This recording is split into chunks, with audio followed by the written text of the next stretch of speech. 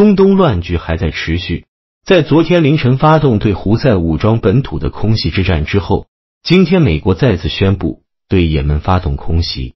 但是，美国发起的第二次空袭行动规模大为减少，仅仅打击了胡塞武装在也门的一个雷达站。美国随后对外宣布，这次对胡塞武装的打击效果良好，已经严重削弱了胡塞武装发动袭击的能力。很明显，这是想要撤退走人的烟雾弹。美国高调发起的空袭也门本土的行动，给人一种虎头蛇尾的感觉。和当年如日中天时相比，不得不说，如今的美国和英国这两个曾经的世界霸主的军事实力已经没落到这种程度，实在是令人唏嘘。即便小打小闹的空袭，美国总统拜登也遭到国内反战派的强烈指责。有美国议员指责拜登绕过国会，对也门发动空袭行动极度危险，这让本来想通过对胡塞展示强硬、提高支持率的拜登进退为难。更为打脸的是。就在美国对外宣称打击效果良好的同时，一月十二日，胡塞武装武装红海再次动手，对以色列商船发动袭击。看来这是逼着美国在红海继续动手的节奏。我们看到胡塞武装的战术也是明显采取了敌进我退、敌退我扰的游击战术。在美国发动空袭之前，胡塞武装已经将大批装备转移至山洞地堡之中。就连美国自己也承认，这次发射了一百多枚导弹，也仅仅打死了五名胡塞武装分子，这让美英等参战国家倍感尴尬。本来美国想利用这次空袭行动，让也门政府以及沙特等胡塞武装的宿敌们加入战局，重新对胡塞武装开战，好让美国从中解套。但是美国发动空袭之后，也门国内反战情绪强烈。也门政府也立即对美英空袭行动发出了强烈谴责，也门国内民众更是群情激愤，反而使得武装的支持率急剧提升。美英的空袭反而让一团散沙的也门变得空前团结起来，这也让美英的如意算盘彻底落空了。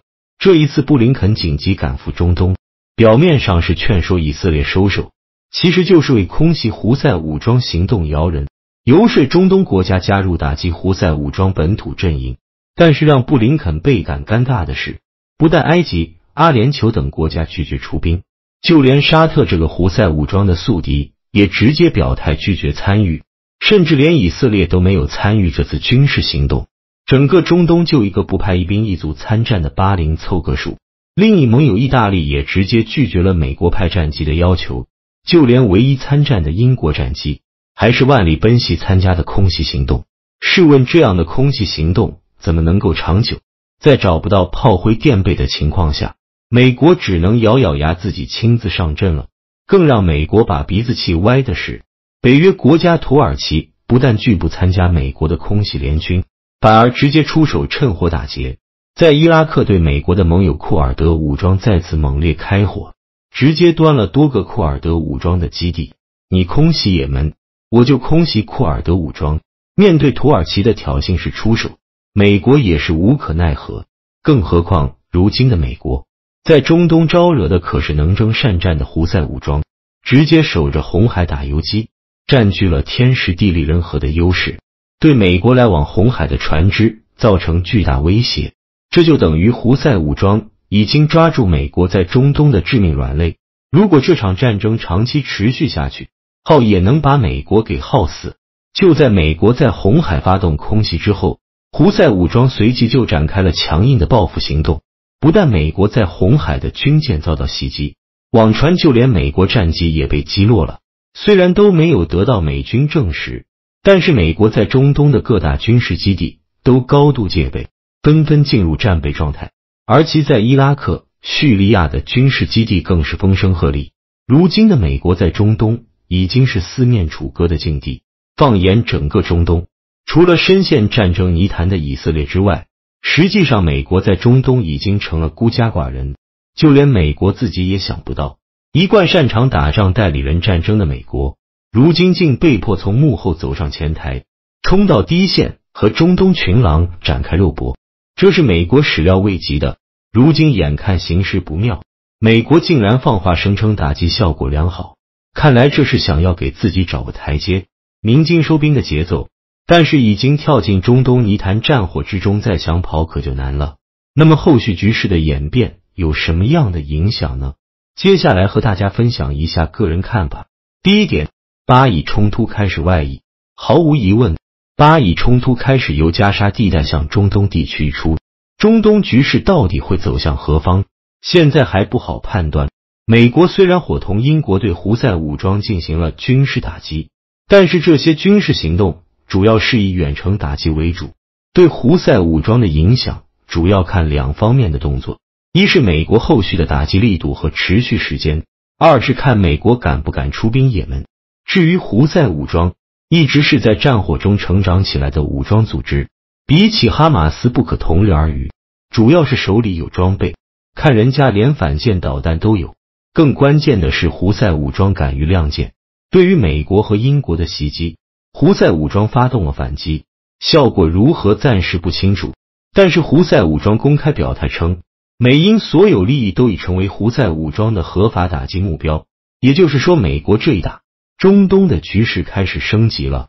之前胡塞武装封锁红海时，是只打靠向以色列港口的船只，现在变成了只要是美国和英国的利益。都将受到胡塞武装的攻击。胡塞武装敢不敢去干这样的事情呢？我个人认为他是真敢。胡塞武装和哈马斯不同之处在于，胡塞武装后面是有人大力支持的。只要胡塞武装敢于拼命，对美国和英国的利益进行攻击，那么有可能会引发中东彻底出现乱局。第二点，普京或会调整乌克兰和中东政策。前面一直在强调一个观点。现在美国面临的状况就是按起葫芦浮起瓢，乌克兰问题还没有解决。现在因为胡塞武装的事情，美国开始在中东出手，这是一次是小打还是大打，和国际局势是有很大关联性的。如果普京调整一下政策，首先在乌克兰方向发动猛攻，这会为胡塞武装后续的行动打一剂强心针。再进一步来讲，普京如果再调整一下中东政策，通过某些渠道向胡塞提供一些或明或暗的支持的话，那胡塞武装真敢放开来打，美英袭击胡塞武装，这对普京来说确实是一个战略机遇期。如果利用的好，有可能将美国的精力拖在中东地区。战争一打响，俄罗斯第一时间在安理会有了动作。一月十二日，在俄罗斯的要求下，联合国就当前红海局势举行紧急会议。中国常驻联合国代表张军表示，美英打击也门胡塞武装目标的军事行动无法实现其宣称目标。普京没有理由不开心，也没有理由不在政治帮胡塞武装一把。只要能够将美国精力调动到中东地区，我认为普京后续一定会有让美国非常难受的动作。第三点，东北亚局势或会升温，对于国际局势节点的把握。朝鲜也是把握的相当精准的，在胡塞武装封锁红海期间，朝鲜就调整了南北关系为敌对关系。我之前说过，朝鲜调整南北关系一定会伴随军事资源的重新调整。一旦美国敢于深度陷入和胡塞武装的军事冲突当中，朝鲜有可能有比较大的军事动作，比如调整军事部署，调集战略资源压上三八线附近。朝鲜的动作还不算是要命的，还有一个更加要命的东西。其实多年前朝鲜战争爆发之时，所有人都以为解决台湾的机会到了，结果由于实力的关系，中国错过了统一的战略机遇期。现在中美之间的实力对比已经发生了根本性的变化。在乌克兰问题还没有解决的前提下，如果美国还敢陷入中东乱局当中无法自拔。我想，这对中国来说确实又是一个战略机遇期。没有战略资源去支撑的全球战略，到头了只会瞬间崩塌。美国要的是全球战略利益，但现有的实力却无法强行维持。无论是朝鲜半岛、西太平洋、中东和乌克兰，所以现在的拜登属于吹着口哨过目的。只要形势不利于美国，拜登马上就会停止军事行动。